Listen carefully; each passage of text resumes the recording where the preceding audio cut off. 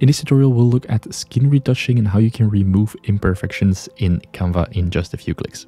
We're starting from a blank canvas and we go to the Elements tab on the left. And here we're looking for a picture with, uh, let's see if we can find something with acne, photos. And this gives us quite some nice examples to work with. Let's use this one, close the tab, and then fill it to the full screen.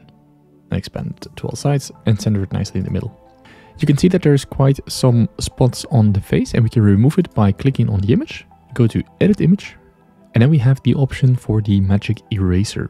If we select that, we have a click and brush option. We choose the brush option and we're going to make it just a bit smaller. The more the size resembles the actual dots, the better the result will be. So now we're just going to click on the spots that we want to remove and if you use a larger brush, you'll see that you will get more of the face and that will distort the image in general. So the smaller you can keep the dots, the better. Click on erase and let the magic eraser do its work. takes a few seconds and after a few seconds you will have quite a nice result. And here you see that it already did quite a good job in erasing the spots. There's still a few left, so if you want to remove those or the red spots in general, you can just go over them again and then click erase once more and that will do the trick and that will give you quite a clean result.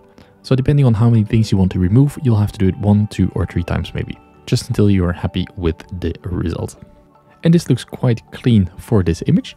So once you're done, you can just click on the back arrow and that will give you the nicely edited image to work with.